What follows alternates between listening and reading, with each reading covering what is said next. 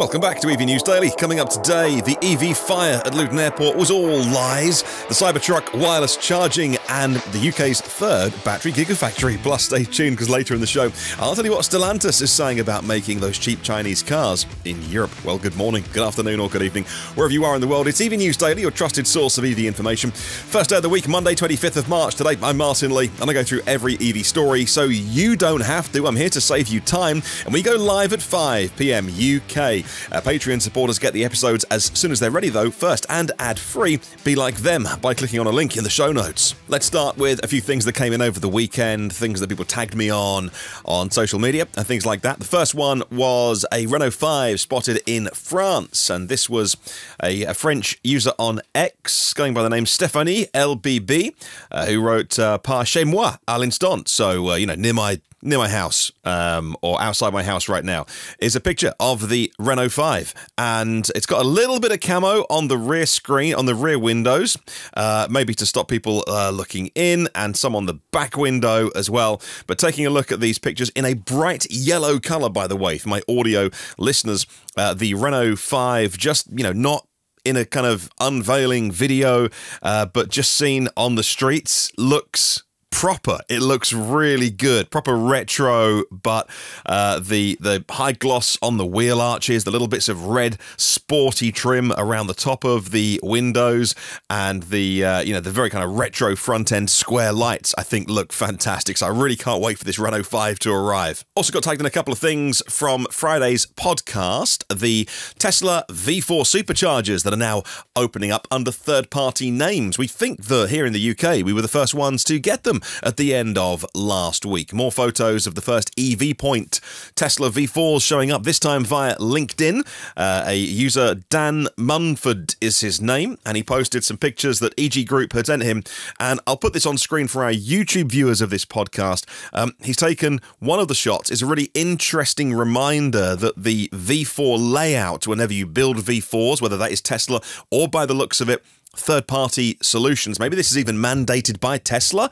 I wouldn't be surprised if they say, hey, you have to have the layout like this. You have the V4 dispenser, the hardware itself, uh, exactly in the middle of the charging space. And obviously, you know, the V2s, V3s are off to the side because that's where the cables are and they were never designed to, to charge non-Teslas, whereas these are. And so you look at the layout of the uh, of the site, and it reflects what the pure V4 sites, the Tesla V4 sites are. So I thought, I thought that was just interesting as, as an aside. And um, uh, and it's the same layout. So I wouldn't be surprised if that's all part of buying these from Tesla. But well done to um, EG Group for putting these outside their Asda store, their Asda Express store. And there was a close up of the screen on the V4 as well, uh, just above where you tap the uh, your credit card, your charge card to start the charge if you don't use the Tesla app. And there's not much on it actually. Very clean, very simple.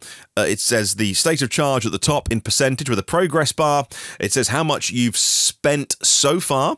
Uh, then it says the current charging rate. Then in a smaller font, it says the total dispensed energy and how long you've been charging as well. I think it looks really, really cool. And fresh from the first pictures coming out, uh, this was uh, in Uttoxeter, these first V4 for third party ones. Uh, there is now some pictures online that I got tagged in. Thank you very much for my listeners and viewers that did this.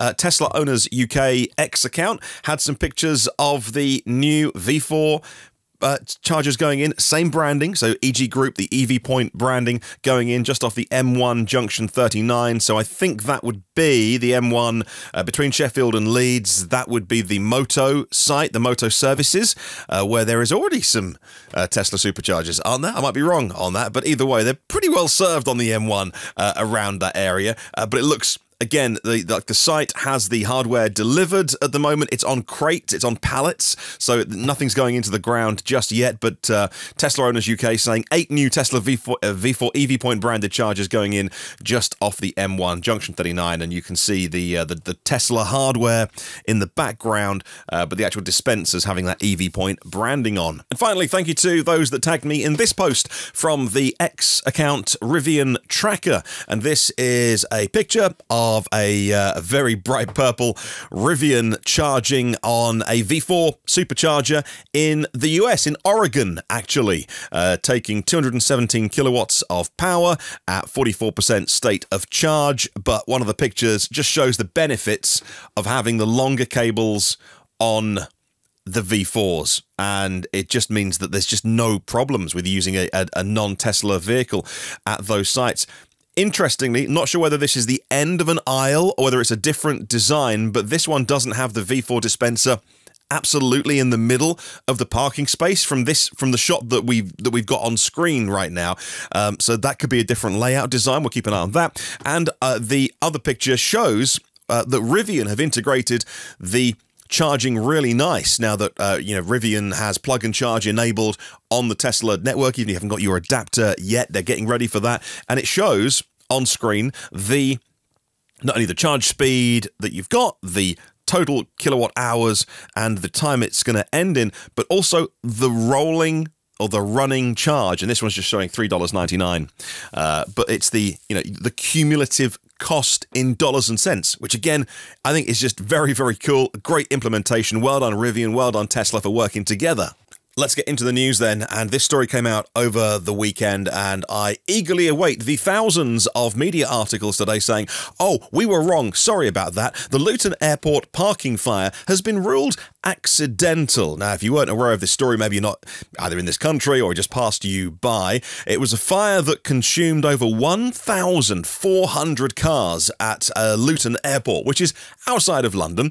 Uh, they still call it London Luton Airport. It's a long way from London, by the way. Uh, but it was determined to be accidental, according to a joint investigation by the fire and police services today. An electrical fault or a component in a moving diesel vehicle was the cause of the accident. At the peak of the emergency, over 100 firefighters were deployed to manage the fire, uh, resulted in aircraft being grounded uh, for uh, several hours, even a day, I think it was. The initial fire spread from the fault in one vehicle to others nearby despite attempts by the vehicle's owner to extinguish the flames. So, what is the problem with this? Well, it is that all of the media coverage at the time blamed an electric car.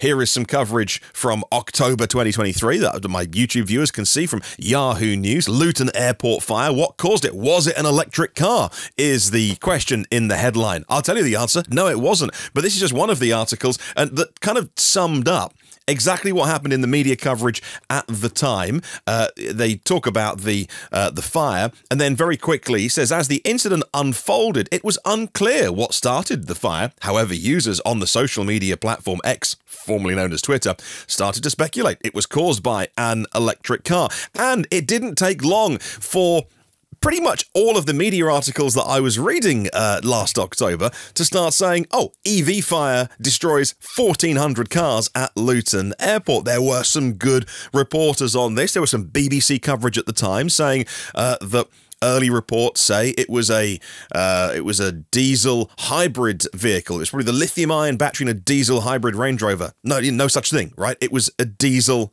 vehicle that caused it. The drive was in the car. They managed to get it into a space, evacuate the vehicle, and I'm glad they were safe. Uh, but it was nothing to do with an electric car. It wasn't caused by an EV, and the frantic media coverage at the time blaming EVs, uh, which was. I mean, pretty quickly debunked because the kind of people that I follow on my social media platforms are the kind of more level-headed people who would go, "Well, hang on, the you've actually just shown a screenshot of it's a Range Rover, so it can't be an EV. Questioned it, but the headlines and the text often didn't match what was being reported. So I, I'm, I'm looking forward to all of those outlets saying today, "Oh, hey, by the way, no, it wasn't. It was a diesel car. Was it? It wasn't. It was a diesel car."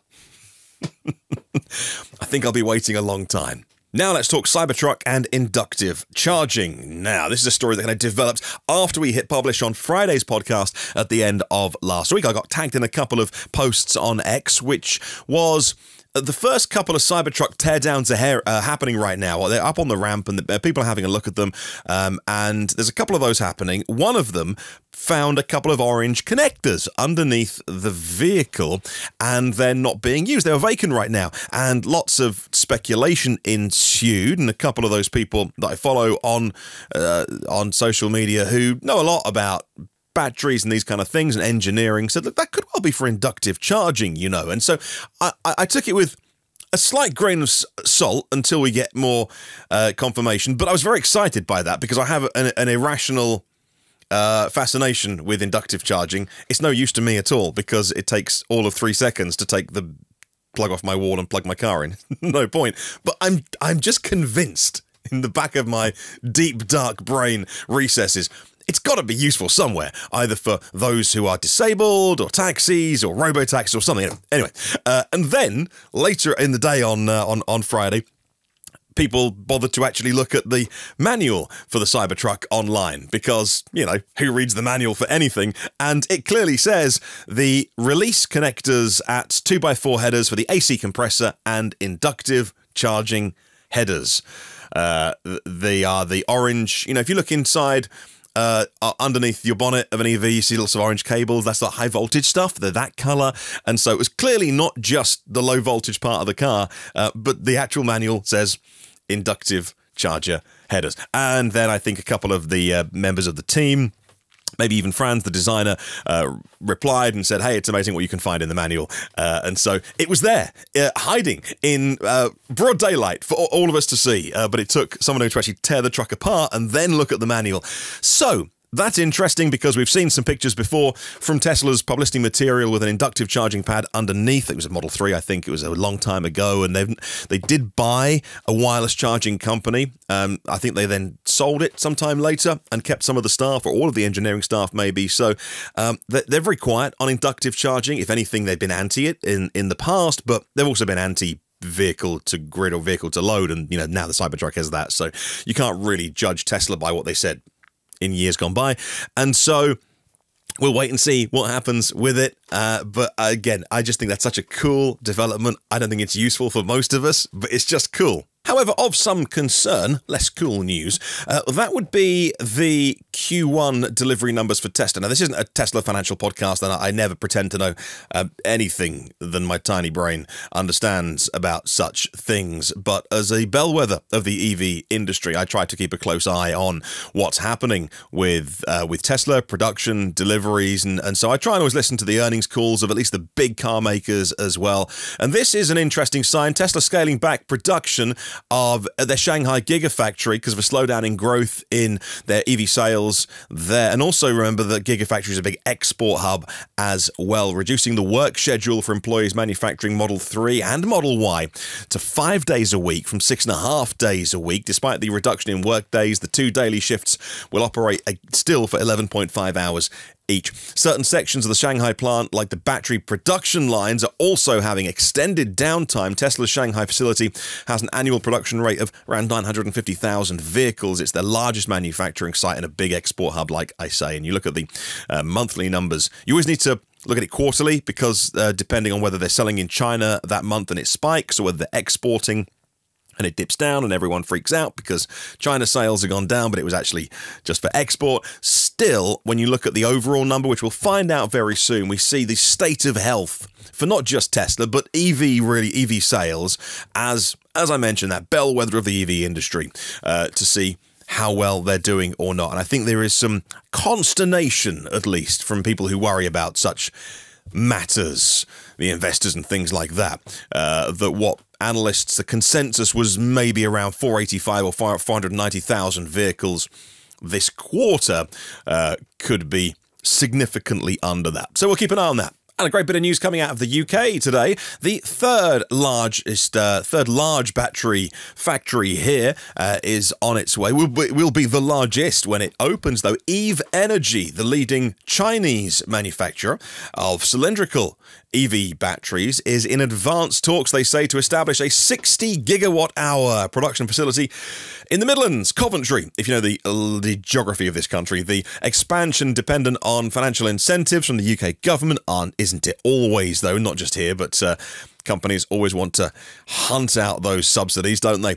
Uh, drawn from a 4.5 billion pound support fund, uh, initially a 20 gigawatt hour plant will be built, 1.2 billion UK pounds to build that, and the scale to triple to 60 gigawatt hours in time. The Times newspaper reporting that Eve Energy has secured an agreement with an unnamed car manufacturer for these cylindrical cells. Eve's gigafactory will be bigger than Nissan's Sunderland plant. Of course, uh, that's been there a long time through various different ownerships and uh, making it uh, the UK's largest gigafactory uh, battery factory. Tata Group is committed to spending four billion pounds on their EV battery in uh, factory in Somerset, which is only about an hour that way of me, uh, aiming to generate 4,000 jobs there. Well, the West Midlands is a bit of a hub for the automotive space and also kind of uh, sort of engineering in general for automotive and motor racing and things like that. Automotive wise, got Jaguar Land Rover, obviously Aston Martin. Uh, BMW and more names as well. The UK Battery Industrialisation Centre is their battery research facility in the area that the government are really trying to push the UK forward on. Eve Energy has partnerships with Daimler Trucks in the US. They have an alliance with Rimac in Croatia, who these days, of course, are Volkswagen Group's battery tech leads. Uh, StoreDot as well, uh, an Eve client. Uh, yeah, they're ultra fast or fast charging battery technology, XFC, then they call it, uh, the battery technology being made by Eve Energy. So, we'll wait and see why the Chinese want this site so badly, and hopefully. You know, it's not a done deal. It's advanced talks, but we'll watch that uh, very carefully and some very exciting news for the industry here. All right, next up, another story that came in, or at least was was developing on Friday as I was writing the podcast on Friday, and only really got confirmed, and I can understand it after we published, and that is Stellantis reducing their workforce, cutting around 400 white collar jobs in the United States, focusing on roles related to engineering, tech, and software at their Michigan headquarters. I started getting tagged in posts from listeners and viewers of the podcast uh, that were had been told on the previous day to work from home on Friday, an ominous sign when everybody in the office is told, "Do not come in tomorrow. We will provide an update and tell you why." Yeah, it doesn't sound good, does it? The layoffs are a strategic move to restructure resources in alignment with their transition to EVs. The company emphasizing the necessity of this decision to maintain competitiveness. The CEO, Carlos Tavares, highlighting the cost challenges, saying that EVs are 40% more expensive to make than traditional combustion cars. For the average consumer, it's a cost they have to pass on right now. And Stellantis has announced the launch of 18 new EVs globally. I think eight of those, seven or eight, are going to be in North America. So a big expansion um, in a market that they're not really uh, selling many EVs in at the moment, if at all. Despite the workforce reduction, Stellantis still had a net profit of $7.7 billion in the latter half of last year. So they're, they're doing okay, but they're watching uh, the pennies closely by the look of it. Look, Ford and GM have done the same, either with early retirement or optional redundancies and things like that. So Stellantis not alone in this. Their statement directly linked these job cuts to electric vehicles. Whilst we understand this is difficult news, they say in their quote, these actions will better align resources while preserving the critical skills to protect our competitive advantage as we remain laser focused on implementing our EV product offensive. So uh, that news, bad news, obviously, for those people affected, directly linked to the move to electric vehicles. Staying with Stellantis, but this side of the pond now, and one of those stories again that uh, fascinates me because I don't think I'm I've been able to think through all of the implications just yet, apart from knowing that it's, I think, a really big deal, but I can't read the tea leaves just yet. And that is Stellantis' investment in Leapmotor, the Chinese EV manufacturer, and taking that investment in order to secure exclusive rights to build those cheaper Chinese cars and sell them in Western markets. Leapmotor, the Chinese EV maker, is going to start building their vehicles in Europe at the Stellantis facility in Poland, according to news breaking over the weekend. The production of the T03 from Leapmotors, a compact EV will start before the end of June using the semi-knockdown method, so partial assembly kits to be fully assembled at the site. Uh, the plant was chosen for their ability to maintain the low production cost, which is where all of those cheap Chinese cars, apart from the direct incentives uh, they get, it's just such lower costs to make the vehicles in China. The T03 has about 174 miles of range, that's 280 kilometers, currently being imported into European markets like France, costing 20,000 euros. That 21% share in Leapmotor that Stellantis took for $1.6 billion does mean that this joint venture uh, gives Stellantis the exclusive rights to manufacture, export, and sell those Chinese cars in Western markets. Now, the Polish plant responsible for making uh, the Fiat 500, 600, Jeep Avenger already. And I think this is just the first move that we will see as regulators all around the world, outside China, look to see how can we perhaps put tariffs on those Chinese cars coming in. And the reply from the car maker saying, well, okay, well, we'll we'll make some investments, but we're building those cars. They're not Chinese cars. Are they licensed? What's the get around? Again, I, I haven't fully thought I thought, thought it through. I don't have the probably the skills, experience, and knowledge to do that. I'm just an enthusiast of the industry, uh, but I sense it's a really big deal and. By far from the only time this is going to be done, especially if Stellantis make a go of it. Um, well, I think we'll see many more of these types of deals. Well, interestingly, the head of Mercedes talking uh, about those Chinese imports recently, saying we shouldn't put tariffs on those cars. Let the market decide. Fair play and uh, fair market for everyone, and we'll compete. Well, uh, they do sell to a certain segment of the audience, and then the Maybach cars sell to an even smaller segment of that. The Mercedes Maybach EQS. So that's the SUV version of the EQS. The SUV 680 is now on sale, and it's not for the likes of all of us, I must admit. Uh, so, and that's before you even start looking at the options list, but either way, uh, the back version of the Mercedes EQS SUV uh, not only, I think, looks fantastic in its fancy pants, two tone colours, and all the wonderful interior that it's going to have, but the engineering it's similar. It's 107.8 kilowatt hour battery, so still 380 miles or 612 kilometers of range. But they've boosted the output uh, to 484 kilowatts. That's another 84 kilowatts of power.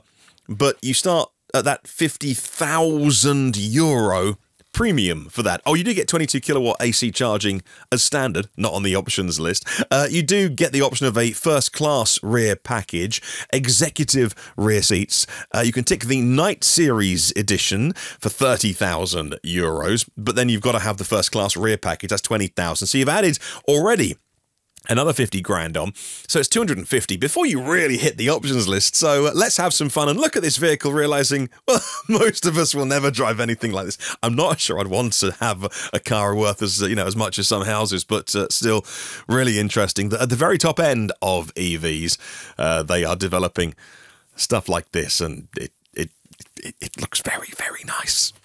Let's talk about companies doing the right thing. We love that when it happens. It doesn't always happen.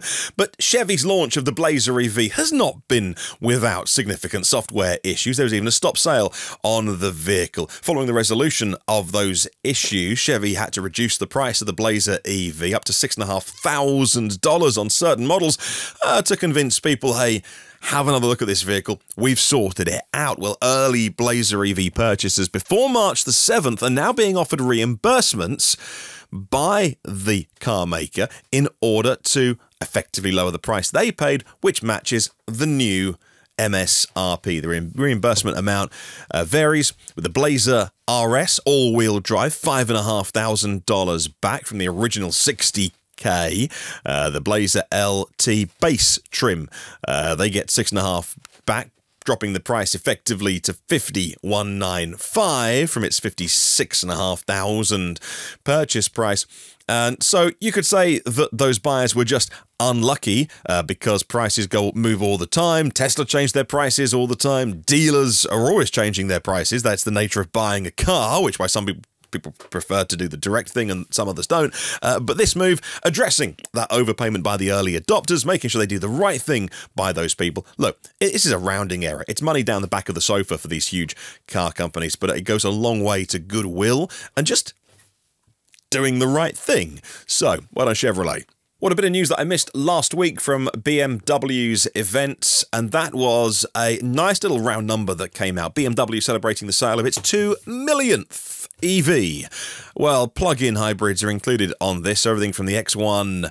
xDrive 25e, uh, all the way through to the i7 and everything they make, the iX that is Pure Electric. The CEO, Oliver Zipse, uh, announcing the landmark achievements, highlighting the significant growth in BMW's EV sales. Last year was a 74% increase in EV deliveries, well, let's say plug-in deliveries compared to the previous year. The proportion of EVs in BMW's so, uh, total sales climbed from 9% to 15% last year, aiming to sell 10 million EVs by 2030, a tenfold increase from their current production, focusing on the Neue Klasse platform. The company plans to commence the production of at least six EV models in Spartanburg by 2030 as part of their strategy to increase EV offerings. And thank you to everyone who corrected my German on Friday's show, where I called it the Neue Klasse platform.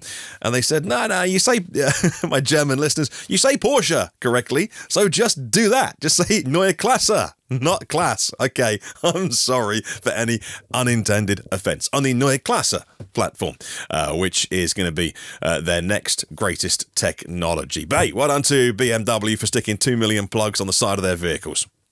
We're staying with the company, but this time their Mini bit of the business. And don't you just love the Chinese ministry when those photos go live online? It kind of spoils the surprise party for these car makers. But now uh, in China, they've uploaded some photos onto the official website, not the uh, mini websites, but the Chinese regulated websites, which shows off the new Mini Aceman. And this in China is going to be an all electric vehicle. It, outside, it will probably be different types of propulsion.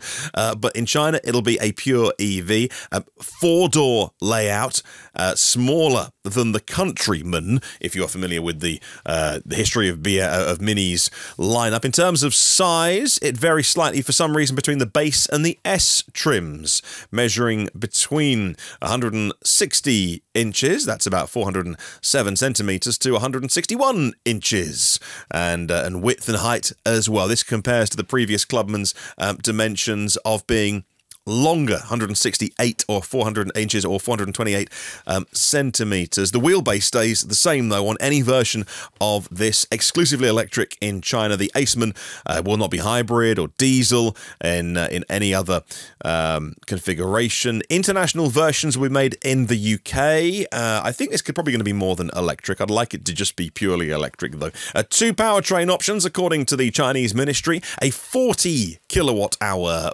battery, 180 1 horsepower in that, and a 54.2 kilowatt hour battery with 214 horsepower. Uh, performance estimates under Chinese CLTC suggest 300 kilometers of range. That's 186 miles on the base trim and uh, that's always very, very optimistic.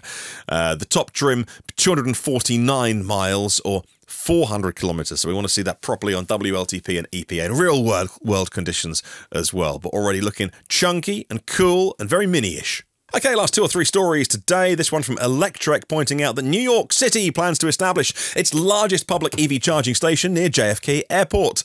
Uh, developer Wildflower has been selected to uh, do this project on a 2.3 acre site between the Nassau Expressway and uh, Rockaway Boulevard. It'll have 65 charging points, 12 of them DC fast charging stations, uh, slated to be completed by 2025.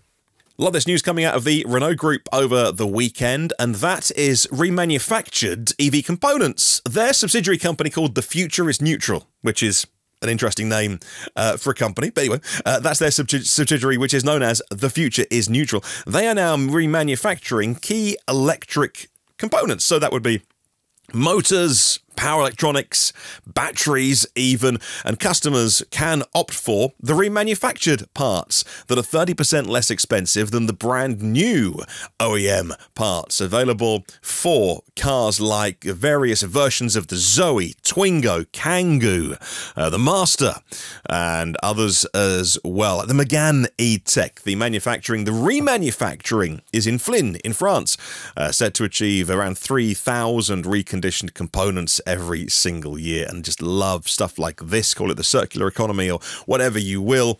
But just the the maturation of the EV market. I can't tell you after over 2,000 of these podcasts every single day, starting in 2018, where we were hunting around for news someday, and just any bit of positive good news coming out uh, could have filled an entire podcast. And now we are getting to the stage where we're talking about, you know, quarter of a million Maybachs, and um, that's that, that that's a real edge case. Inductive charging on Cybertrucks, that's an edge case. Remanufacturing components, that's a, another little piece of the puzzle. All of this stuff was very, very optional, you know, five or six years ago. Let's just get the cars on the road and talking about EVs. And now we're adding all of these things in that combustion world has already, the huge industry that is the combustion uh, automotive world, and it's all going EV and we're all putting these bits of the puzzle together. And I absolutely love stories like this. It makes me so excited and optimistic for the future as well.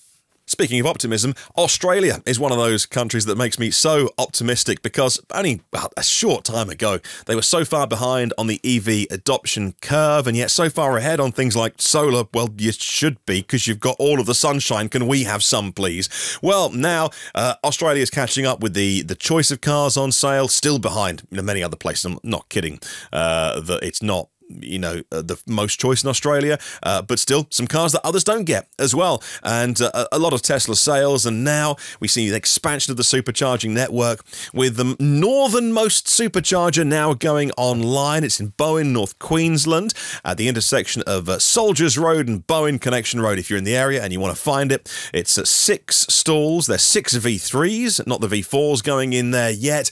Um, but still, look, it's 250 kilowatt fast charging. One of the stalls at the very end, by the look of it, it's been turned around 90 degrees. Not quite a full pull through spot because it kind of goes onto grass, but I certainly think if you were towing, that would make your life easier. You could back in perhaps to that space, or they're just giving you some flexibility uh, there. And this is all part of what's happening in Australia at the moment. This is another one of those sites accessible to non Tesla uh, third party vehicles because of the way it's been funded with some public money as well. Um, it's uh, 85 cents per kilowatt hour to use the Tesla app and charge your non Tesla EV.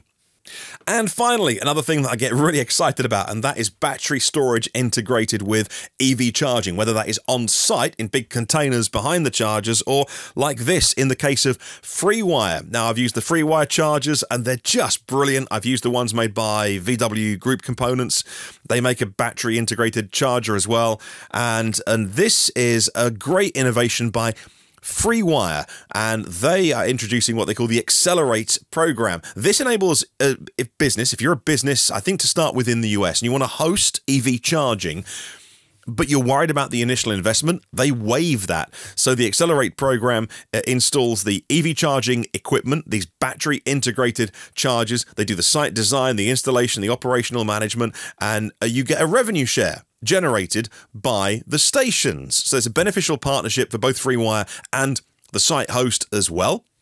After five years as a site host, you can take ownership of the charger and transition the revenue to being full revenue control. And uh, apart from that, there's also uh, some other uh, incentives to buy and own the charging equipment and keep all the generated revenue, various financing solutions available through FreeWire's partners aimed at reducing the upfront costs as well. And interested businesses can go online uh, to the FreeWire website and say, hey, I'm interested, I want to know more details because I love the idea of batteries and EV charging because the big hurdle, there's so many big hurdles to putting DC fast charging in. Uh, getting the land is one of them, uh, but getting the grid connection is the other. And the minute you start doing civil engineering and some civils and you start digging out the road and start to put some some decent power in, it gets very expensive very, very quickly. So battery integrated EV charging, you can just it's like filling the bucket very slowly with a drip and you turn up with your EV and you plug in, attach that big old hose pipe to the bucket, drain down the battery, dump the power in, you're on your way in 20 minutes, and then with a small grid connection, they can just start trickle charging that battery again. You avoid peak demand charges and all these things that can really hurt a small business that might want just one or two DC fast chargers in a particularly unique location or something. So I love, love things like this and innovative ways. Financing is going to be the next thing we talk about over the next five years. How do we get charging in different places? How do we get vehicles in the homes of people that can't afford uh, either the upfront cost or leasing on? And, and this is another example of innovative EV finance and I love, love stuff like this. Well, that's a nice way to start the week. wasn't it? Lots of positive news to get us underway and uh, put a smile, hopefully, on your face. Uh, certainly mine. Some brilliant stories today in EV News Daily. Thank you to those over the weekend that uh, tagged me and stuff, forwarded me things on email. If I didn't get through to everything, I get a lot of stuff sent through to hello at evnewsdaily.com. That's my email address. And um, I feature as much as I can, but without making this show two hours long uh, not everything gets in every day, but I try and save stuff for the weekends, perhaps sometimes. Um, thank you very much to everyone who supports the show on Patreon because that is how we are funded. It keeps us independent, means that I don't have anybody telling me what to say and what to include or not. So you do get a completely unbiased view of the world of electric vehicles and everything surrounds it in 20 or 30 minutes a day. And if you find that service useful, and you can contribute and get this show on the air, have a look at Patreon, P-A-T-R-E-O-N dot com slash EV News Daily. As always, thanks to our premium partners, Porsche of the Village in Cincinnati, Audi of Cincinnati East, and Volvo Cars of Cincinnati East. National Car Charging on the US mainland and Aloha Charge in Hawaii. Derek Riley from Nevo.ie and the Nevo EV Review Ireland YouTube channel. Octopus Electroverse, global public charging made simple with one app and one map. And LeasePlan, electric moments, providing all the tools and guidance EV drivers need. Have a good one. See you tomorrow. And remember, there is no such thing as a self charging hybrid.